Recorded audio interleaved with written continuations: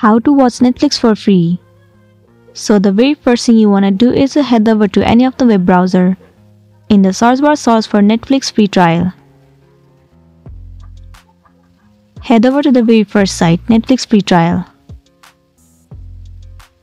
So right here you can see it says Netflix doesn't offer free trials, but you have the freedom to change your plan or cancel online at any time if you decide Netflix isn't for you.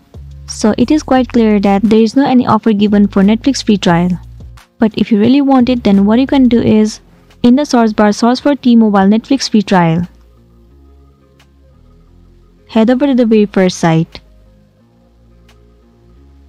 So right here you can see the T-Mobile website offer free Netflix subscription to the customers.